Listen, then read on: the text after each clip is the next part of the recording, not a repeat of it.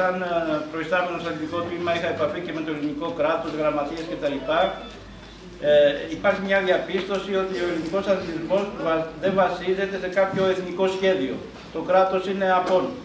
Βασίζεται σε κάποιους δημοτικούς άρχοντες που θεωρούν ότι μέσω του αθλητισμού φτιάχνουν την νεολαία της περιοχής, άρα ανεβαίνει και το επίπεδο και σε κάποιους ανιδιοτελείς παράγοντες που υπηρετούν τα σωματεία. Γι' αυτό και παράλληλα είναι και κάποιοι προπονητές που πραγματικά κάνουν λειτουργήμα και δεν αμείβονται αυτό που πρέπει να αμοιβθούν, κάποιοι βάζουν για την τσέπη τους. Είναι και αυτοί στο σύνολο των παραγόντων. Γι' αυτό θα καλέσω τους γονείς να στηρίζουν τις προσπάθειες, γιατί βασικά οι γονείς τα παιδιά τους στηρίζουν, αλλά να στηρίξουν και τους παράγοντες. Γιατί μόνο έτσι θα προχωρήσει ο ελληνικός αθλητισμός και θα υπάρχουν ωφέλη και προς την κοινωνία. Γιατί αύριο μεθαύριο τα παιδιά, όπως αγωνίζονται τώρα, έτσι θα, προ... θα αγωνιστούν και για τη ζωή τους.